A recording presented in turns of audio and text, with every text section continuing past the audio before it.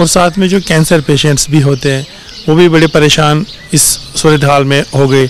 और जो acute diabetes में मुबतला बीमार हैं ख़ासकर वो जो फाइनेंशियली बहुत कमज़ोर होते हैं।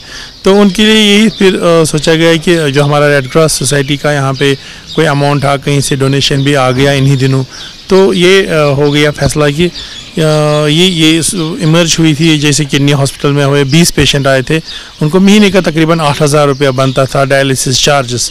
तो चूँकि उस हॉस्पिटल ने भी थोड़ा मदद अपनी तरफ़ से की थी, कंसेशन हाफ़ एंड हाफ़ किया था, कॉस्ट टू कॉस्ट, लेकिन फिर भी जब किसी बंदे को चार डायलिसिस करनी हो महीने में तो वो तकरीबन पाँच, छः, सात हज़ार का अमाउंट बनता है, वो नहीं दे पाता है। तो ये फैसला हुआ कि इन सबको जो ना दे पाएँ तो उनका सारा का सारा महीने का चार्ज एटलीस्ट वो हम इमीजिएटली दे पा, दे पाएँगे। और चेक्स हमने डिस्ट्रीब्यूट की। फिर ये डिसीज़न हुआ कि क्यों ना हम इन इसका एक डिसीज़न ही हो कि जो भी इसमें कमज़ोर, बीमार, कमज़ोर फाइनेंशियली लोग हों, उनको हमने नंबर्स दे दिए हैं। आपके वसात से हम फिर वो नंबर आपसे शेयर करेंगे। उस पर कॉल आती है। वो ये है कि जो भी फाइनेंशियली कमज़ोर हो, उसको परेशान नहीं होना कि शायद ये पैसे की वजह से डायलिसिस नहीं होगी। होगी हंड्रेड परसेंट होगी।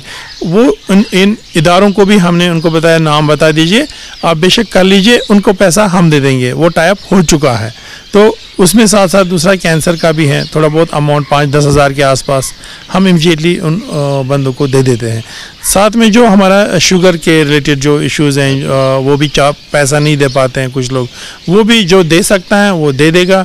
जो नहीं दे सकता है, वो पंद्रह शॉप्स के ऑलमोस्ट हमने वो निशान दी की जहाँ से अपने एरिया के नज़दीक से वो वो दवाई कलेक्ट करेगा and then we will pay the shopkeeper accordingly या जो हमारे पास आएगा वो instantly pay that amount to the person उस इंसान को हम देखें लेकिन एक और अहम बात इसमें आएगी, मान लीजिए किसी को बसपुरा से आना है, किसी को किसी डिस्ट्रिक्ट के कोने से आना है, उसको गाड़ी नहीं है लॉकडाउन की वजह से परेशानियाँ हैं।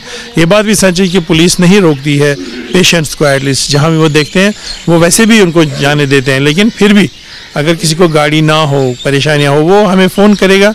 चार गाड़ियाँ हमने इसके लिए मुख्त की हैं, जो इसी काम के लिए ड्रॉप और वापस घर छोड़ना करेंगे वो काम। वो हमने दो तीन हॉस्पिटल्स को भी बोला है कि अगर उन, उनकी नोट्स में ऐसा कोई बीमार आएगा वो हमें डायरेक्ट खुद भी फ़ोन करेंगे कि इस पेशेंट को गाड़ी की ज़रूरत है जो उसको घर में छोड़ देगा।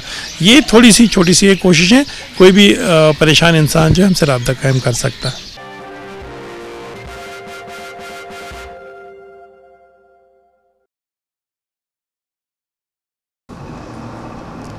बल्कि साहब, हनी, बल्कि बहुत बहुत शुक्रिया आपका। तो नाजरीन के साथ ही बताते चले कि अभी तक का ग्राउंड रिपोर्ट यहीं पे अख्ताम पजीर हुआ चाहता है। मुल्क के साथ साथ दिल्ली, जम्मू और बाकी इलाकों से हमें जो खबरें आ रही उन्हीं खबरों पर हम मबनी आप तक ग्राउंड रिपोर्ट पहुँचाते रहते हैं। तो फ़िलहाल आज के ग्राउंड रिपोर्ट में मुझे, मेरे साथी आबिद कादिर के साथ दीजिए इजाज़त। रब कायनात की मर्ज़ी। फिर करेंगे आपसे मुलाकात। आप रखिए अपना ख्याल। अल्लाह हाफिज़।